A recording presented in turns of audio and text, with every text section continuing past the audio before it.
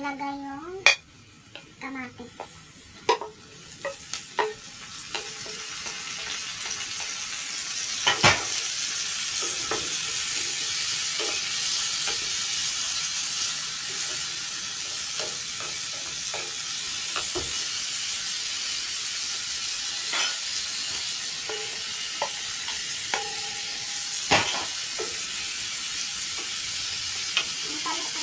Hanggat sa maluto. Bago ilagay yung itlog.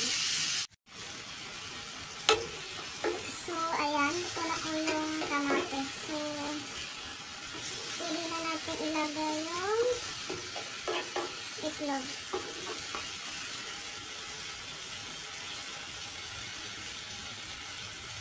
Ngayon, maglagay lang ako ng apat na itlog.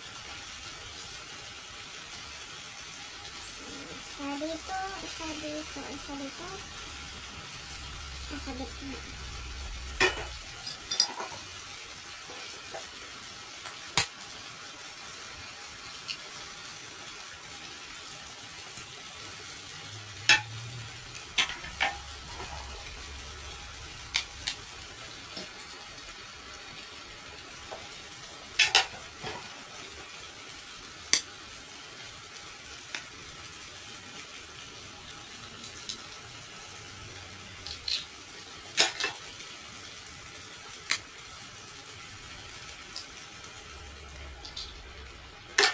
Hmm, gawin ko na lang lima.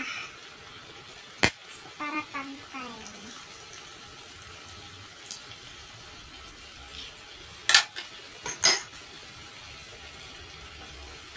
So, ayan. Antayin mo lang siyang maluto yung itlog.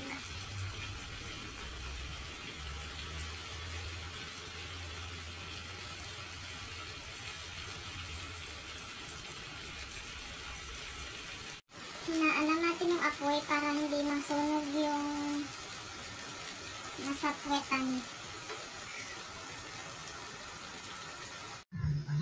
Ayan, ito na po na yung ating shakshukas. Pwede na natin ilagay yung